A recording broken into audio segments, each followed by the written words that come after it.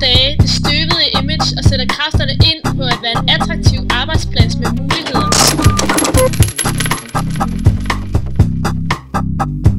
Der er mange muligheder i byens største butik. Dygtige ledere, Mindre byråkrati, gode forhold for de ansatte og store muligheder for at udvikle sine kompetencer.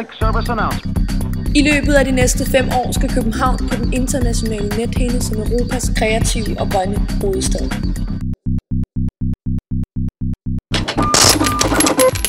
Vi er åbne, nysgerrige og eksperimenterende. Det er en stor fordel for virksomheder i forhold til udvikling og innovation. Excitingly healthy. Disturbingly clean. Disturbingly